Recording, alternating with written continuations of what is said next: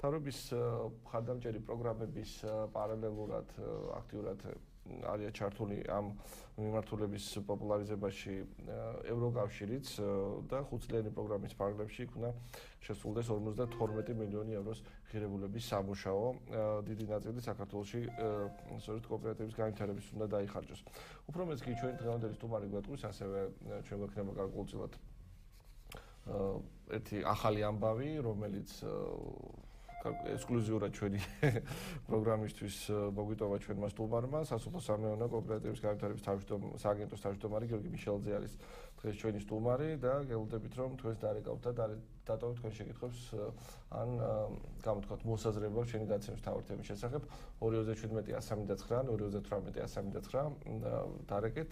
ან დატოვოთ თქვენი შეკითხვები პალიტატივის ვებგვერდზე 3w.palitativ.g აა ბატონ გიორგი აი მაგალითად ევროპის რატო ევროკავშირი? ხო პირველ რიგში ევროკავშირი რატომ ჩაერთო ამ საქმეში? იმიტომ რომ ჯეთი ევროპის უმეტეს ქვეყანაში სწორედ პირველად წარმოებაში არის ფერმერები ჩართული ძალიან მნიშვნელოვანია მათ შორის ეს დიდი და საშუალო ფერმერული მეურნეობები არის გაერთიანებული კოოპერატივებში და სულ ევროკავშირის მასშტაბით სასოფლო სამეურნეო კოოპერატივების წევრთა რაოდენობა აღწევს 9 მილიონს რომელიც და გამოდის რომ ფაქტობრივად ყოველი სამი ფერმერიდან მინიმუმ 2 არის რაღაცნაირად გაერთიანებული კოოპერატივში. ანუ თუ ევროპაში გაამართლა კოოპერატივებმა, რატომ არ შეიძლება იგივე განმეორდეს საქართველოში, თუმცა ამისთვის ბევრი მუშაობაა საჭირო.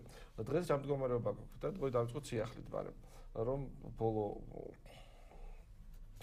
აა და ხარდამჭერის ხარდამჭერი პროგრამა, რომელიც თავრობის ხრიდან იქნება განხორციელებული შეთავაზებული კოოპერატივის კოოპერატივებისთვის თუ შეიძლება ამაზე ვილაპარაკოთ და შემდეგ უკვე გარკვეულად შევაჯამოთ სხვა საკითხები.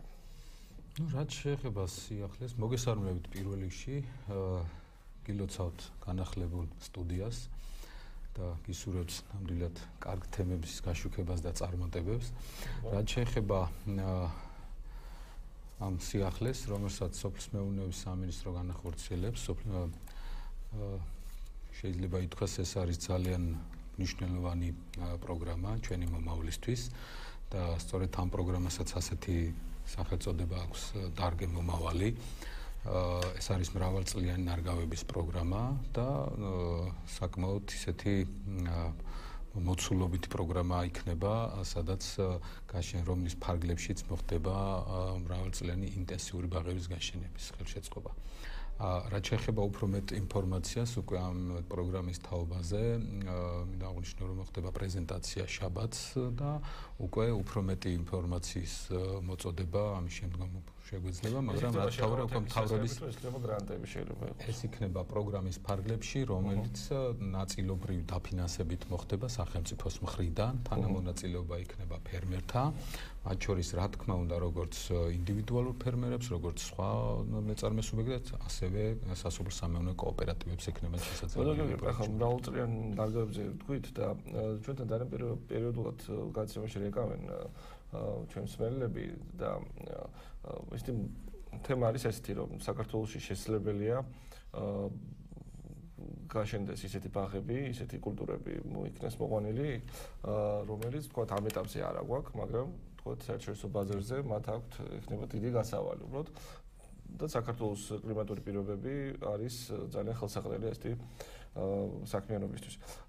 თქვენ გეგმავთ თუ არა რომ აი ამ პროგრამის პარალელურად, იმიტომ რომ უკვე უბრალოდ საუბარი უბრალოდ ძალიან არგავებზე აქვს უკვე უფრო მეტი რესურსი იქნება თავრობის ხრიდან კოოპერატივების წევრების ხრიდან ჩადებული, რომ გარკვეული საკონსტაციო ხაბუნებრივი ვერა ვერაფერს ვერ უბრძანებს, მაგრამ რაღაც კონსულტაცია შეგვიძლია მიაწოდოთ. ჯიშთა განახლების აუცილებლობაზე არის. თუნდაც ჯიშთა განახლება თუნდაც ახალი ახალი ჯიშები შემოყვანა შემოტანა და ასე შემდეგ. რა თქმა უნდა, მოგეხსენებათ, შარშან სოფლის მეურნეობის სამინისტროში შეიქმნა სამეცნიერო კვლევითი ცენტრი, ეს არის საჯარო სამართლისეულ დულპირი, რომელიც პირდაპირ ამოცანაა სწორედ, რომ საინფორმაციო ანალიტიკური სამუშაოები განახორციელოს, სამეცნიერო კვლევები აწარმოოს და სწორედ ის თანამედროვე ტექნოლოგიების გამყენებას, იმ თანამედროვე ტექნოლოგიების დანერგვა შეუწყოს ხელი, რომელიც მეტად წაადგება სოფლის მეურნეობას და ესაჭიროება საქართველოს აგრარულ სექტორს. ისე რომ სწორედ ასეთი სახის რეკომენდაციები და სიახლეების მოკვლევა და ნერგვა და გავრცელება სწორედ ამ სამსახურის ერთ-ერთი მთავარი ამოცანაა და ეს ასეც იქნება განხორციელდება კიდეც. ამასთან ერთად მოგეხსენებათ სოციალური სამინისტრო სისტემაში არის ყველა რაიონში საინფორმაციო საკონსულტაციო სამსახურები, ასე ვთქვათ, აი ეს რაიონული სამართლოების სახით, რომ მათიც ასევე პირდაპირ ამოცანაა, რომ ადგილებზე იმ მდგომარეობის გათვალისწინებით თქვათ რა კულტურებია იქ და რა სიახლის და რა სახის ახალი კულტურების დანერგვა არის შესაძლებელი, აი ეს პოტენციალურად შეისწავლონ და ამ სამის თაობაზე ინფორმაცია მეაწონონ ადგილობრივ მოსახლეობას. პრაქტიკა როგორია ხო არის თქვენ შემთხვევით ამ რამდენად აქტიურად მიდის ის ფერმერი, ფერმერი ყველაზე ერთი სამწუხაროდ კონსერვატორი. კი, თავია ფერმერის კონდეს ინფორმაცია იმის თაობაზე რომ ამა თუ იმ ინფორმაციის შესახებ სად შეიძლება მიიღოს ამოწურავი ინფორმაცია და ისინი ნამდვილად გააქტიურდებენ და აქტიურდებენ გან. თუნდაც ის მაგალითი რომ დღეს მდგომარეობით სულ რაღაც 10 თვე გავიდა რაც ჩვენ პირველ სტატუსი მივანიჭეთ, სადაც იმ პერიოდში საერთოდ კოოპერატივის გაგონებაც არ უნდა ხალხს რამე თუ სამწუხარო გამოცდილება კოლმეურნეობის სახით იყო ჩვენთან. მაგრამ დღეს უკვე 555 სასოფლო სამეურნეო კოოპერატივია უკვე, მათ შორის 173 კოოპერატივია მაღალმთიან რეგიონებში შექმნილი და უკვე ჩართულია 3414 მეპა, ну 4000 ფერმერია უკვე გაერთიანებული. ეს უკვე ამ მოკლე პერიოდისათვის საკმაოდ კარგი მაჩვენებელია, შეიძლება ითქვას და ამავე დროს ალბათ აღსანიშნავია, რომ ეს კოოპერატივები თითქმის გადანაწილებულია მთელი საქართველოს მასშტაბით და მას შორის კონფლიქტის ზონაში 13 სასოფლო სამეურნეო კოოპერატივი გვაქვს. სტატუსის მქონე 9 არის სასაზღვრო ზოლში ასე ვთქვათ პირობითად სასაზღვრო ზოლში აქვს და 3 სასოფლო სამეურნეო კოოპერატივია კონკრეტულად დევნილთა მიერ შექმნილი კოოპერატივი. ფაქტიურად ყველა სპექტრი ძალიან ფართოა და მით უმეტეს მიმართულებები, საქმიანობა, სხვადასხვა საქმიანობას ეწევიან. ძველი არის ხაზზე მოусმინოთ მას გამარჯობა პირდაპირ ეთერში ხართ? ზანეთ. გამარჯობა, ესეთი შეკითხვა მაქვს. ხარ თუ არა კმაყოფილი კოოპერაციის ხარისხით? აქ თქვენ გულისხმობთ რაოდენობას თუ ზოგადად კოოპერატივების საქმიანობის ხარისხს? მmm, სპეციალური შეიძლება დაამთავრო კითხვა დასვა და თალიბანთან დაელოდა დაელოდება ჩვენ თქვენ კითხვას მე ორივე მხრიდან გავცემ პასუხს რომ არ დაგრჩეს კითხვა პასუხ გაუცემელი. ასე ვთქვათ ახლა თუ ვითვალისწინებთ სტატისტიკურ მონაცემს შეიძლება ითქვას რომ საკმაოდ მაყოფილები ვართ რამე თუ ამ მოკლე პერიოდში მოხდა რომ იტყვიან როგორც საინფორმაციო კამპანიის ფარგლებში ცნობადობის ამაღლება და თუნდაც იმის მენტალობაც ცოტა შეეცვალა ადამიანს რომ კოოპერატივი ასოცირდებოდა კოლმეურნეობაში არავის არ სუნდა სხვასთან ერთად თანაზი არ იქონოდა საქმიანობა და სამწუხაროდ დღემდე მოდის ეს ტენდენცია რომ ყველა საკუთარი წარმოება უნდა და ცოტა უჭირთ გაერთიანება და ერთობლივ საქმიანობის გაწევა მაგრამ ამის და მიუხედავად შედეგი სახეზია 4000 ფერმერის ჩართულობა ეს საკმაოდ კარგია. რაც შეეხება თქვა ხარისხობრივ მაჩვენებელს, რომ რამდენად არის ეს კოოპერატივები, რამდენად არიან ძლიერი სუბიექტები, რა თქმა უნდა, ყველა კოოპერატივი ძლიერი სუბიექტი ვერ იქნება, იმიტომ რომ ესენი ცალცალკე მომუშავე გლეხებისგან, გლეხკაცისგან არის შექმნილი კოოპერატივი და მათ შორის რა თქმა უნდა, მსხვილი ფერმერებიც არიან გაწევრიანებული, იმიტომ რომ ეს ხელს არ უშლის ერთად საქმიანობაში მსხვილ ფერმერსა და წვრილ ფერმერს შორის, ანუ გლეხკაც შორის მაგრამ შეიძლება ითქვას, რომ სურათი დაახლოებით ესეა, ესეთია. ამ მონაცემებიდან 50%-ამდე რილი და საშუალო დონის კოოპერატივები ყავს და მეორე ნახევარი, ასე ვთქვათ, იქნება ალბათ უფრო ძლიერი კოოპერატივები, მაგრამ ძლიერიც პირობითია. გააჩნია საიდან გამოვდივართ. ყოველ შემთხვევაში შეგვიძლია ვთქვათ, რომ დღეს უკვე პირველადი პროდუქციის მწარმოებელი კოოპერატივებს აქვთ შესაძლებლობა და უკვე დაწყებულია ეს პროცესი, რომ უკვე საწარმოო კოოპერატივები შექმნან და დღეს მდგომარეობით უკვე სამი ასეთი გვაქვს: მეფუტკრეობის კოოპერატივი, მესაქონლეობის კოოპერატივი და მეჩაიეობის კოოპერატივებმა უკვე საწარმოო პროცესისთვის შექმნეს მეორე დონის სასოფლო კოოპერატივები. და ასევე რამოდენიმე ხანში უკვე ჩვენთან სტატუსის მოსაპოვებლად მოვლენ ეს არის ცაგერში შეიქმნა მევენახეობის მეორე დონის კოოპერატივი, რომელშიც უკვე უსახელაურის ყურძენს გადაამუშავებენ ღვინო და ღვინის წარმოებას დაიწყებენ. დაიწყებენ. კიდევ ისმაილი არის ხალხზე, გამარჯობა. პიტა ბეთაში ხართ? თუ შეიძლება გაიმეორე შეკითხვა. თქვენ თომართან მაქვს შეკითხვა ისმის? აა ხო ისმის სამწუხაროდ. ალო? დიახ, ახლა ისმის, დიახ, ბრძანეთ. აა, იცით რა მაინტერესებს, აი, საშუალოდ თუ შეიძლება თქვა, აი, მიწის გაერთიანებული კოოპერატივები და საშუალო არითმეტიკული რა არის, ხო, რამდენი ეს გამსხლებული მიწის რაოდენობა თითო კოოპერატივზე გაანგარიშებით? აა, დიდი მადლობა. პასუხს გავცემთ უკვე რეკლამის შემდეგ. რამდენი წუთში დაგვუნდებთ, ესე რომ არ გადაგდეთ.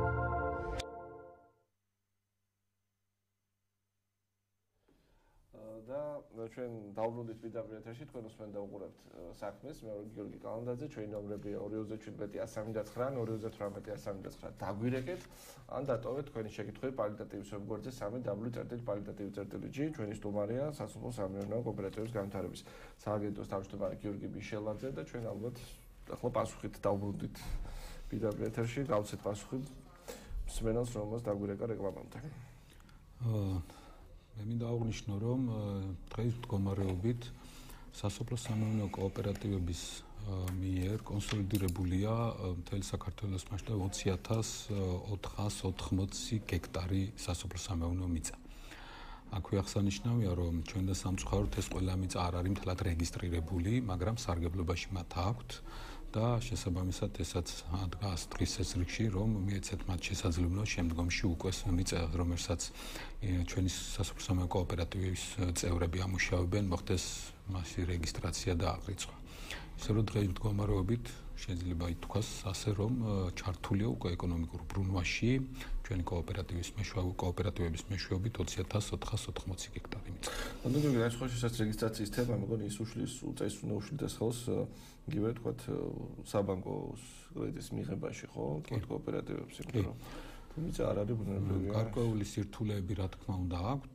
ჩვენს კოოპერატივებს და კოოპერატივში გაწევრებულებს და რა უშლის ხელს ეს არის იმის გამო რომ თქვა თვითონ ფერმერებმა ვერ მოაბეს რაღაცას თავი თუ ну დღემდე ყოველ შემთხვევაში ცალცალკე ვინაიდან იყვნენ გათითოკაცებული ასე ვთქვათ ფერმერი მარტო თვითონ ვერ ახერხებდა ამ აღრიცხვას საკადასტრო რუკების მომზადებას და ასე შემდგომ. აი ამ ყველაფრის ხელშეწყობას სწორედ უზრუნველყოფს კოოპერატივი, ვინაიდან მათ ცალცალკე აღარ დაჭირდებათ უკვე ამზომველები თუ ასე შემდგომ მოყვანა და შესაბამისად უკვე კადარც ერთდროულად ერთობლივი ძალისხმევით გააკეთებენ და შესაბამისად ხარჯით შეუმცირდებათ.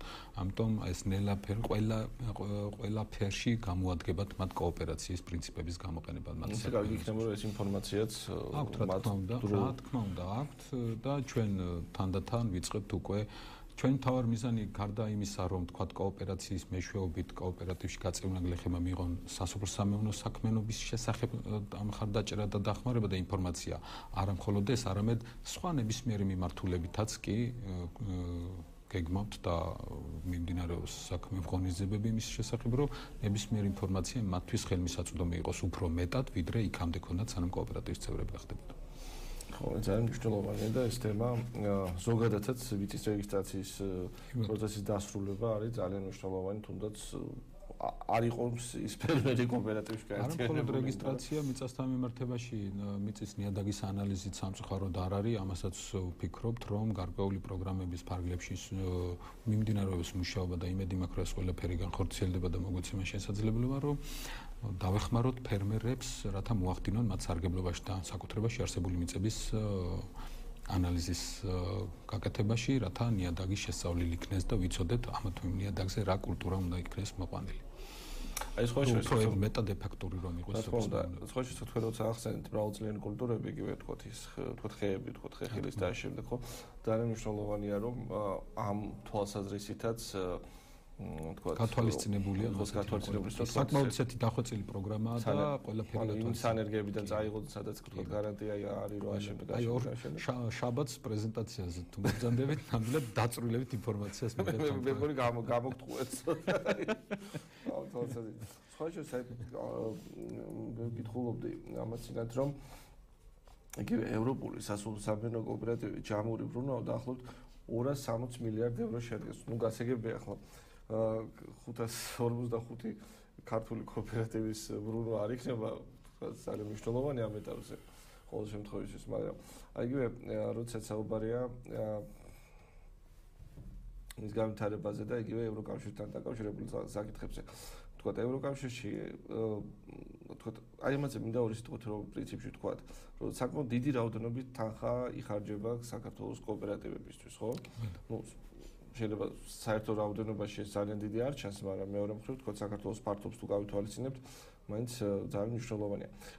ახლა უბრალოდ თავარია რომ ეს თანხა კოოპერატივებმა გამოიყენონ ეგრეთ წოდებული მდგრადი განვითარებისთვის ბევრს ხუმრობა გონია, მაგრამ მეორე მხრივ ეს არის ძალიან მნიშვნელოვანი თქვათ, იმიტომ რომ ძალიან ხშირად საქართველოში გრანტი და მე გრანტის იქით უკვე აღარ ვითარდება არა არაფერი. ანუ განვითარდეს და შემდგომ უკვე იგივე მეორე და მესამე დონის კოოპერატივები შეიქმნას. იქნება ამაზეც ორი სიტყვით რო გითხრათ რამდენად დიდი აქტივობა ამ თვალსაზრისით და როგორ შეიძლება თქვა კოოპერატივმა გარკვეულ უფრო აქტიური მონაწილეობა მიიღოს თქვა ემპარტის პროგრამა ხო თუ არ ვთქვი? ევროკავშირის პროგრამა რომელიც კოოპერატივის განვითარებისთვისაც არის კი ბატონო მოგეხსენებათ ევროკავშირი ერთ-ერთი ყველაზე დიდი და ძლიერი პარტნიორია სოფლის მეურნეობის მიმართულებით საქართველოსთვის და მით უმეტეს კოოპერაციის პროცესში ეს პირველივე ეტაპიდანვე კი სანამ ჯერ კიდევ კანონი არ იყო და მიმდინარეობდა მუშაობა კანონ პროექტზე სასოფლო კოოპერატივის შესახებ იმ დღიდან და უფრო ადრეც მათი მხარდაჭერით მოხდა ეს პროცესი და მათ მხარდაჭერით ხორციელდებოდა. შესაბამისად, ემპარდის პროგრამა მოიცავს დაახლოებით 160 სასოფლო სამეურნეო კოოპერატივის შექმნას, მათ დაფინანსებას, მათ შესაძლებლობების გაზრდას, მათ შესაძლებლობების გაზრდაში იგულისხმება როგორც ტექნიკური დახმარება, ასევე კაპიტალური ინვესტირება, გარკვეული საგრანტო კომპონენტის სახით და ასე შემდგომ. ისე რომ დღეს მდგომარეობით ჩვენ შეგვიძლია ვთქვათ, რომ ემპარდის პროგრამის ფარგლებში სულ 1200-მდე ფერმერმა გაიარა ტრეინინგების კურსი, სხვადასხვა ტრეინინგების კურსი, ასე ვთქვათ, მათ შორის იყო მენეჯმენტის, თვითონ კოოპერაციის სისტემის თაობაზე ინფორმაცია მიიღეს ფერმერებმა, ასევე საგადასახადო შეღავებთან მიმართ შეღავათებთან მიმართებაში სამართლებრივ საკითხებზე შიდა სამეურნეო ბრუნვებთან დაკავშირებით და ასე შემდგომ. მათ შორის შეირჩა რამოდენიმე ჯგუფი უკვე და დღეს მდგომარეობით უკვე 227 ფერმერული ჯგუფია შერჩეული და საერთო ჯამში დღეს მდგომარეობით უკვე დაფინანსდა 34 ჯგუფი.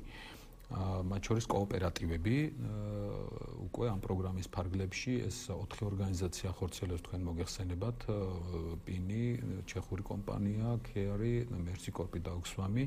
სამს უკვე სამი ორგანიზაციას უკვე შერჩეული ყავს დასაფინანსებელი კოოპერატივები და ნაწილობრივად დაფინანსება მთლიან ჯამში ემპარტის პროგრამის ფარგლებში დღეს მდგომარეობით უკვე 766000 ევროა გრანტის სახით გაცემული სასოფლო სამეურნეო კოოპერატივებზე. აქვე აღსანიშნავია, რომ მათი კოოპერატივების თანამონაწილეობა დაახლოებით 320000 ევროს შეადგენს. რამე თუ ემპარდის პროგრამა მოითხოვს თანაინვესტირებასაც კოოპერატივების მხრიდან. ეს ამასთან ერთად ეს ყველაფერი უწყობს მათ მდგრად განვითარებას, იმიტომ რომ ჩვენი მიზანი არ არის მხოლოდ ერთ დონეზე, თქვა კოოპერატივი დაფინანსდეს გრანტის სახით და მეორე გრანტის დასრულების შემდგომ შეწყვიტოს მათ საქმიანობა სააგენტო, რომელიც მუდმივ მოქმედია, ჩვენ მიზანს სწორედ მათი განვითარება წარმოადგენს. დღეს თუ ემპარდი ახორციელებს მათ დახმარებას, შემდგომში შეიძლება სხვა განახორციელოს ან საერთოდ დონორიც არ ყავდეს და ისე უნდა განვავითაროთ სასურსამე კოოპერატივები, რომ უკვე ისე დადგნენ ფეხზე, გაძლიერდნენ, რომ მათ სხვებს გაუწიონ პირიქით დახმარება. ეს სწორედ სააგენტოს მიზანი ეგ არის. ჩვენ დახმარება სწორედ იმაშია, როგორც ჰორიზონტალურ ინტეგრაციაში, ასევე ვერტიკალურ ინტეგრაციაში უნდა ჩავთოთ ჩვენ სასოფლო სამეურნეო კოოპერატივები, რაც გულისხმობს სრული საწარმოო ციკლში მათ მონაწილეობას. ეს კიდევ ხელს შეუწყოს უფრო მეტად, რომ იყვნენ გრადები და სტაბილური სუბიექტები ბაზარზე. აი ჯერჯერობით ხო 500-ზე მეტია და ეს პრინციპში არ ცოტა, მაგრამ შეიძლება მეტიც ყოფილიყო, ხო, გარკვეულწილად იმ რესურსიდან, რომელიც იგივე მთავრობიდან იყო ჩართული დონორებისგან. აი რა არის ეს მთავარი, რომელიც გარკვეულწილად იზიდავს გარდა გრანტების თემისა და იმ დახმარებისა, რომელიც თქვათ მათ გაეწევათ. რა არის თქვათ ერთიდან და არის თქვათ მეორე მხრივ კარგული შემაფერხებელი ფაქტორებიც. აი ესე რომ ყველაზე დიდი შემოფერხებელი ფაქტორი დროგასული არის უკვე რომ გარკვეული შედეგები დავდოთ. კი, რა თქმა უნდა. ყველაზე დიდი შემოფერხებელი გარემოება ის არის, რაც არა მხოლოდ საქართველოს, არამედ მთელ სოფლიოშია კოოპერაციის თვის რთულ ფაქტორებს წარმოადგენს ეს მენტალობის პრობლემა, როდესაც ადამიანებს ყოველას წარმოადგენა აქვს, რომ ბიზნესი უნდა აწარმოონ თავის საკუთარი და სხვასთან ერთად ცოტა უჭირთ ერთობლივი საქმიანობის განხორციელება. ეს არის ყველაზე დიდი დამაბრკოლებელი გარემოება.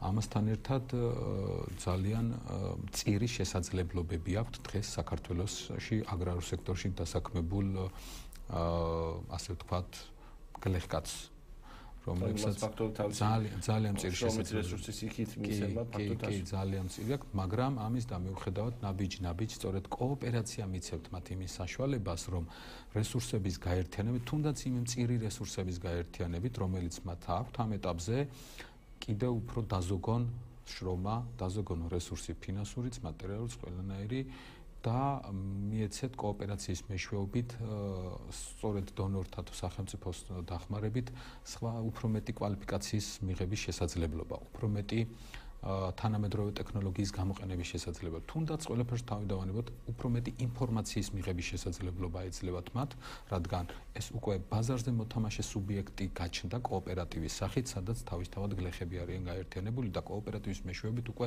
ინდივიდუალურად თვითონ გლეხები იღებენ ინფორმაციას, რის საშუალებაც რა თქმა უნდა ცალ-ცალკე ყველა გლეხთან ამის საშუალება სახელმწიფოს ნამდვილად არ ქონდა და გაუჭირდა. ეს ხო შეიძლება რა იქნება იცით, კარგი სტიმული, კი არა კარგი მამოძრავებელი ძალა ამ თვალს არის რომ თქვა ამათი პროდუქცია უკვე ბევრი ну, ყოველ შემთხვევაში რაღაცა შეიძლება კონცენტრირებული ყოფილიყო რაღაცა ტიპის მაღაზიებში, სუპერმარკეტებში, პრინციპში გაბნეულია ეს ყველაფერი ხო თუმცა ძალიან ბევრი პროდუქტია შესაძლებელი თუმცა მოდით რომ გავითვალისწინებთ რომ ჩვენ საუბარი გვაქვს ასოფსამეონო კოოპერატივს ეს არ არის სავაჭრო კოოპერატივი თქვა იყიდე გაყიდე რომელიც ეფექტს დღესვე მოგცემს. ეს არ არის თქვა თუნდაც სამშენებლო კოოპერატივი რომელშიც თქვა ინვესტირებას ჩადეს და შედეგს ნახავ ერთ თვეში ერთ წელიწადში და ასე შემდგომ. სასოფლო საქმიანობას ჭირდება გარკვეული პერიოდი ყველაფერსო თავი დავანებოთ მარცვალს რომელსაც ნიადაგს ჩააგდებთ, იმას ერთი წელი მაინც უნდა რომ პროდუქტი მოგცეს ხო მართალია და მით უმეტეს ეს პროდუქტი მეორე პირველად წარმოება უნდა გადამუშავდეს და საბოლოო სახე მიიღოს და მარკეტში როგორც თქვენ გძანებთ უკვე მომხმარებელმა მიიღოს. ამას ყველაფერს დრო უნდა და მით უმეტეს იმის გათვალისწინებით რომ კოოპერაციის პროცესში კიდევ ამბობს ჭარბობს უფრო მწირი რესურსის მქონე გლეხების გლეხები. ამიტომ ამ ყველაფერი მაგრამ ხო სწორედ სწორედ ეს არის რომ ანუ სახელმწიფომ რადგან აირჩია კოოპერაცია სწორედ ამიტომაც აირჩია კოოპერაციის პრინციპი კოოპერაციის განვითარების გზით განავითაროს აგრარული სექტორი. ერთ-ერთი მიმართულება აგრარული სექტორის განვითარებისა სწორედ კოოპერაციაში იმიტომ დაინახა რომ აი ამ წირი შესაძლებლობების მქონე გლეხების გააქტიურების ყველაზე კარგი საშუალება და მათი ეკონომიკური დონის ამაღლების ყველაზე კარგი საშუალებაა კოოპერაცია. არ არის არ შექმნის კონფლიქტს გარკვეულწილად სოფლად, რაც შეიძლება მოხდეს, მოხდეს თქვა და მიწათა ეს სხვა სხვა ტიპის გამსხვილების შემთხვევაში, იმიტომ რომ როცა თქვა ცხოვრობს გლეხი, რომელსაც თქვა მიწა არ აქვს და გვერდით როგორც ესე თან თუ სოციალისტური ქვეყნიდან მოვდივარ. კი, ხაროთ არის ეგეთი ფაქტებიც ბევრი მოხდა. დიდრები დიდრები კიდე არ გიყვარს ესე ვთქვა. გიყვარს, რა თქმა უნდა, ოღონდ ჩვენს მათთან ერთად ჩვენი კოოპერატივის წევრებთან ერთად. უძალს ვალდებულებებს ვაკისებთ დიდრებს, ხო? და ჩვენ ფრავდებით რომ დაგჭერთ აუცილებლად აუცილებლად მინდა გითხოთ ისე იმის ვებპარტის პროგრამაც რო გადავიდეთ. როდესაც საუბარია თქვა ჩერჩევაზე კოოპერატივების. აა არის თუ არა გარკვეული კრიტერიუმები და პრიორიტეტები თქვა რა მიმართულებით. ახლა რატო გეკითხებით იმიტომ რომ ყველას რა თქვა სადაც კი ვაზი მოდის ყველა რა თქვა ვაზისკენ მიდის და იმიტომ რომ ღვინო ღვინო უბრალოდ ადულად იყიდება და ასე და ძალიან ხშირად თქვა სოფსმენების ახალკოლი მიმართულებები რომელიც შეიძლება დღეს უფრო სერიოზულ შრომას საჭიროებს, მაგრამ სამომავლოდ არანაკლებ მნიშვნელოვანია ქვეყნის სასურსათო უსაფრთხოებისთვის, ხო? რაღაცა იგივე ფერმერების დონეზე ვამბობ აბსოლუტურად. ფერმერები შეიძლება იყოს ნაკლებად უყურად დღეს უფრო უგულებელ ყოფილი ხმის მისო სახელმწიფო თავის პრიორიტეტები აქვს მაგრამ სახელმწიფო ვერ ჩაერევა მთავრობა ვერ ეტყვის რომ ეს გააკეთე ის გააკეთე. სახელმწიფო ვერ ჩაერევა თუ რა მიმართულებით უნდა აწარმოოს საქმიანობა კოოპერატივმა მაგრამ რა თქმა უნდა ჩვენ გვაქვს შესაძლებლობა ამა თუ იმ მიმართულებით რეკომენდაციები გავცეთ, თქვათ ვურჩიოთ, მაგრამ საბოლოო გადაწყვეტილი მაინც კოოპერატივმა უნდა მიიღოს. აი სწორედ როდესაც აღნიშნე რომ ინფორმაცია სწორად უნდა მივაწოდოთ, თქვა გლეხებს ჩვენს ფერმერებს, რომლებიც კოოპერატივში არიან გაერთიანო, ამას გულისხმობს რომ ჩვენ მათ მივცეთ ინფორმაცია თუ რომელ ამ რა სახის პროდუქციაზეა მოთხოვნა, სად არის დეფიციტი, სად არის ჭარბპროდუქტიულობა და შემდგომ გადაწყვეტილება მათ მიიღონ. წავიდნენ ამ მიმართულებით, თქვათ, რომელიც თაც გადაჯერებულია, თქვათ, თუნდაც საქართველოსი ესა თუ ის წარმოება, ხლა შეიძლება ვინმე თქვას, რომ სადა გვაქვს იმისთან აწარმოება, რომ სადმე გადაჯერებული იყოს, ადგილობრივი წარმოებით გვაქვს, გვაქვს რამოდენიმე მიმართულება, რა თქმა უნდა, გვაქვს. ამიტომ ჩვენ გავცემთ რეკომენდაციებს ბაზართან დაკავშირებით, აი სწორედ საინფორმაციო ბანკის, რომელსაც ჩვენ აღნიშნავთ ხოლმე ყოველთვის, რომ ჩვენ სისტემაში უნდა შეიქმნა საინფორმაციო ბანკი, აი ერთ-ერთი მიმართულება სწორედ ეს არის, რომ ბაზრის შესწავლის შემდგომ სწორი ინფორმაცია მივცეთ ჩვენს ფერმერებს წევრებს, ჩვენს კოოპერატივის წევრებს, თუ რა ხდება, რა მოთხოვნები და რა რა საჭიროებებია ბაზარზე. და მე როგორ განწყობილებას თვითონ მიიღებენ. ჩვენ დაგვჭირდა ზუსტად ერთი წუთი გადაცემის დასრულებამდე თუ იყო ისეთი საკითხი, რომელიც არ დავსვი. ჩვენ გვაქვს ამ 11 წუთზე გამოვიყენოთ, მაგრამ კიდევ ერთხელ შევხსენებ ტელეფონის ნომრებს. 217 139 ან 218 139 დაგვირეკეთ, ჯერ კიდევ შეგიძლიათ რომ მოვასწროთ და მიიღოთ პასუხი ჩვენი სტუმრისგან. მე მინდა აღნიშნო რომ ძალიან ბევრი ზარი შემოდის ჩვენ სააგენტოში და კითხულობენ ის პროგრამა რომელიც დაწყებული ქონდა მცირე გაბარეტიან პროგრამის სახით მოტობლოკერის პროგრამა ტექნიკის პროგრამა რა ხდება რა ეტაპზეა. მე მინდა უთხრა ჩვენს კოოპერატივის წევრებს რომ 11 ამ წინა კვირაში რომ იტყვიან 11 თებერვალს საქართველოს ფავრობამ ხელი მოაწერა მიიღო განკარგულება და ამ პროგრამის ფარგლებში კიდევ 440 მოტობლოკი გადაეცემა 155 სასოფლო სამეურნეო კოოპერატივს და დამატებით 53 ხელისათესი. დღის მდგომარეობით უკვე მიიღებული ყვა კიდევ ამის მეტი დამატებით განაცხადები 275 მოტობლოკზე. ეს არის 109 კოოპერატივის მიერ განაცხადი კიდევ შემოვიდა ჩვენთან, რომელიც გადაიგზავნება შესაბამის უწყებაში და შესაბამისად მოხდება მთავრობის მიერ მიერ ამ პირდაპირ მიყიდვის წესით პროგრამის ფარგლებში კოოპერატივებისათვის გადაცემა ისე რომ საგანგაშო არაფერია საგაზაფხულო სამუშაოებისთვის მოესწრება ეს ყველაფერი და მათ გადაეცემათ აღნიშნული ტექნიკა საკუთრებაში. დიდი მადლობა და ჩვენ როგორც ვთქვით ჩავეტიეთ ჩვენს გამგუთილ დროში. ჩვენ ამით დღეს ვასრულებთ გამოშვებას. დიდი მადლობა რომ იყავით ჩვენთან ერთად და ერთმანეთს შეხვდებით ხოლმე ახალი თემით და ახალი სტუმრებით. დროებით